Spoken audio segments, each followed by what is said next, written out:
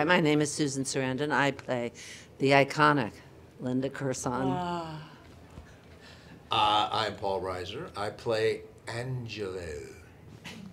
Um, I play. Wait, wait, wait. Which camera are we looking at? okay, great, great, great. How do we do this again? Hello, I'm D'Arcy Carden, and I play Skunk.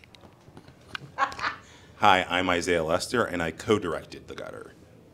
And hi, I'm Yasir Lester. I co-directed The Gutter with uh, Isaiah. I'm also the writer. It's a funny, fun little bowling comedy, uh, an underdog slash fish out of water story about uh, a young black kid uh, becoming the new face of bowling. And if you've ever watched bowling, you know that's weird. In fact, he's practicing his game right now. That's why. I know. yeah, yeah, yeah, yeah. He's method even after the fact. So the idea for the gutter came from honestly, uh, I'll say the brokest years of me and Isaiah's adult life, not childhood. That was that was broker, yeah, but, but adulthood doing bad. Um, and they used to have these like two dollar a game nights at the local bowling alley, and uh, we'd go there. We'd have six dollars so we could play three games. Where is the Um, bowling alley? it's uh, it's it was the AMF on Venice and Inglewood. Um, it's now a Bowlero gentrification, um, but we would go there all the time. And you know, Isaiah points it out, which was always so funny to us. It would be like us who are just like broke grown adults, and then like literally a child's birthday party and then gang members like uh, just like and it, we would always be like it's just so crazy all three things are happening at once and one particular night me and isaiah and our, our uh, best friend reza were bowling and uh, there were uh, there, was, there was a gang next to us and they were literally bowling and just talking about crimes they did Yeah. earlier that day. and we're like, that's so weird to be like, you shot someone and then you also came bowling. Like, it was just so funny to us. And so, you know, I don't think we all thought much of it, but it kind of just stuck in my head. And um, I don't know, like a year later, I tried to make a little sizzle reel to like see what the idea would look like and everyone was like this is stupid. This is unbelievable. Like throw it in the ocean and then um, you know all credit to my wife like a year later was like just write it as a movie. And uh, I did, and Isaiah came on board to direct because he actually has knowledge of it, and I'm just essentially one of those noodles in front of a, a car dealership that's just like, pay attention to me. Um, and uh, in terms of finding Shameik, like this is gonna sound weird, but he's uh, the character's name is Walt after our cousin. We essentially, you know, our cousin's just, you know, he's like. I don't know, 37, but it's just like always talking about anime essentially. Playing video games all the time. Yeah. All the time. and so Shameik weirdly just reminded us of him, and we were like, should we just try him? Because, like, I- I mean, I don't know if you're going to keep this part or not, but they were like, you should go with, like, John David Washington. And it's like, I, we're not going to have Denzel Washington's son come play a shirtless porn addict who's good at bowling.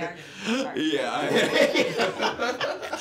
um, he went on to do Tenet, uh, but uh, he's fine. He's fine. He's fine. He's doing all right. Yeah. Um, but yeah. Me and Yasir, I would say like uh, this is going to be a very straight answer for a, a thing about comedy, but we we kind of always have been have had- had very bold senses of humor, and like I feel like especially Yasir and like the script, he's like the kind of person who will force you to laugh, like.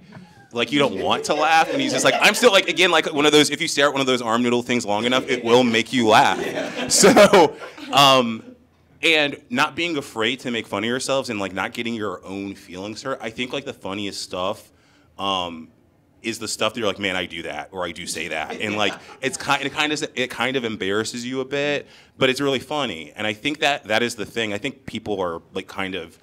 Uh, you know, in a world full of Instagram and Facebooks and Metas and Apple Pro Visor headsets, uh, I think people take themselves too seriously, and I think that everyone's like has this idea of like curating an image for themselves, and anytime that image is attacked, they feel attacked. It's not even them personally; it's just how what their perception of themselves is, and I think that um, I think that's the kind of stuff we're kind of like trying to dismantle, and um, I don't know, make you confront it, make you like force you to laugh at yourself. Um, I, I think that's what it is. Paul, is that a good There's answer? lot of- There's a lot of inappropriate humor is what he said. Yes. Yeah. Yeah. That, that long answer, that's. that was actually, I was like, you really intellectualized. I know. That's what I said. Me. I, I, there was Yeah. I, I gave a warning before I said Yeah, yeah, no, that was awesome. You don't often laugh out loud when you're reading a script. Um, sometimes you go, you're reading it, and if it's funny, you go, hmm, mm, mm-hmm. But I was like chuckling out loud, which was such a good sign. And I, and I honestly just wanted to meet you guys after I read it. That was I didn't I didn't even think I was gonna get the part. I didn't I didn't I didn't think. I made. I mean, honestly, I was like, I, it can't be me. This is. I don't know who will play this part. It won't be me. But I got to meet these guys. I love this script so much. Um, and then we fell in love. Truly, I just, I, quick interjection. We were talking about the character to D'Arcy, and we are like, if we can, we want someone who can be weird. Like, one of our favorite characters is Barry Egan from Punch Drunk Love, and she literally held up a painting that was like on her desk, and we were like, if it's not her, we're gonna commit suicide. We didn't commit suicide. Yeah. she is here. Yeah.